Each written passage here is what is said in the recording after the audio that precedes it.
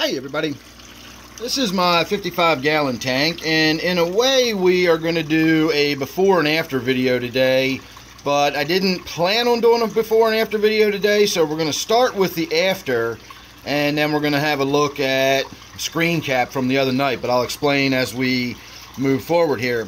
So you can clearly see the top part of the tank has what looks like bubbles and stuff all over it. That's not really bubbles. All of that white, gray, cloudy looking stuff, that is all dead algae and mostly, especially in this area right in here, is all uh, dead cyanobacteria. This little chunk through here, this darker section, was still somewhat alive as of Sunday night's live stream, but on Friday, all of that looked really, really nasty.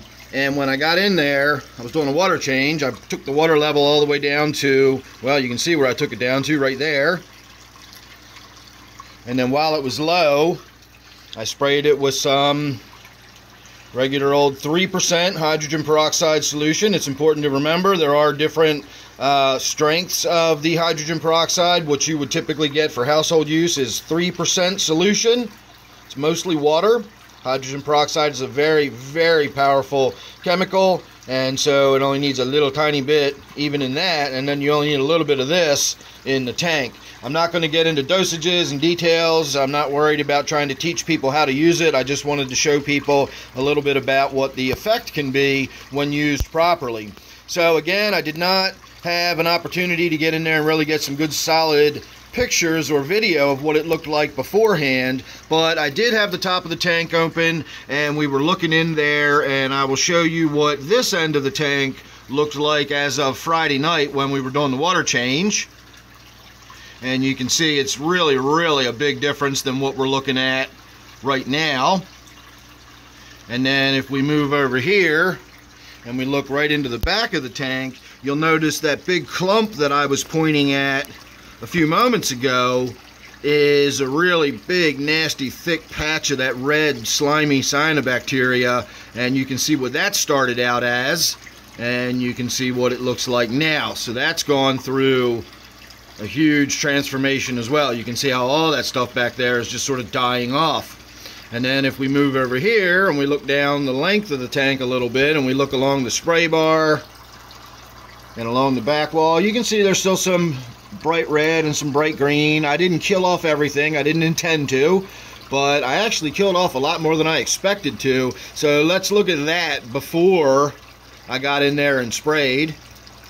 And you can see as everywhere else it's just nasty and there's gross slimy growth all over everything and I simply sprayed that with the hydrogen peroxide and it now looks like this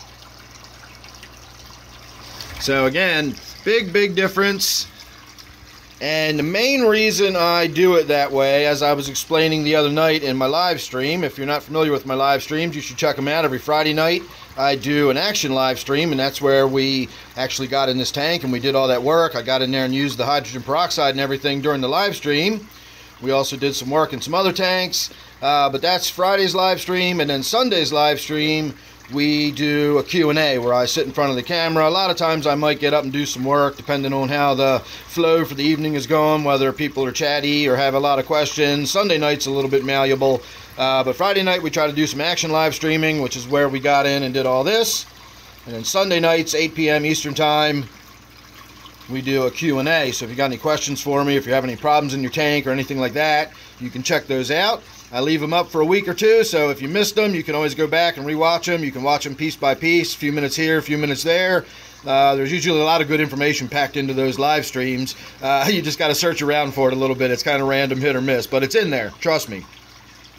So there you go. That's what it looks like now. And as I was beginning to say a few moments ago, the reason I do it this way is because if you get in there and scrape all of that loose, it's just you're putting it in the tank and you're spreading it around. You're also doing what I like to refer to as making it angry. Uh, when in fact what you're doing when you break it and you disturb it, uh, it goes into sort of uh, emergency reproduction mode because it's being damaged and destroyed, and so it starts hyper reproducing.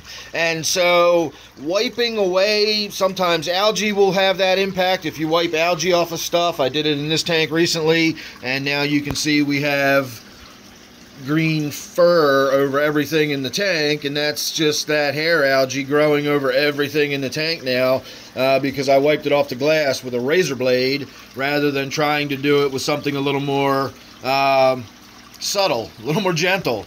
And that's exactly the point of this. If I were to get in there and scrape all that off of there, if I was to get in there with a cloth and wipe it off, you're just smearing it around, you're you're you're putting it in the tank, you're breaking it up, you're causing it to go into hyperactive reproduction mode, etc.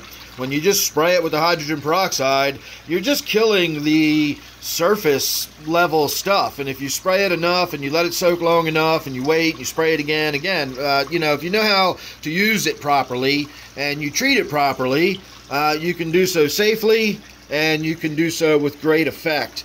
The issues run into when you try to clean up underwater, and there's not a lot you can do down there other than get in there and wipe that stuff out or do a really really big water change so maybe next water change i'll see if i can take it low enough and we'll get in there and we'll spray this big uh, area in there and see if we can get some of this crud uh, out of there as well not hurting anything and honestly, I don't even think that's particularly unsightly. It looks a lot better than uh, glass, or if I didn't have something hanging behind it and you could see through it, you'd see wood paneling uh, or something like that. So I'd much rather see something that looks like that than wood paneling.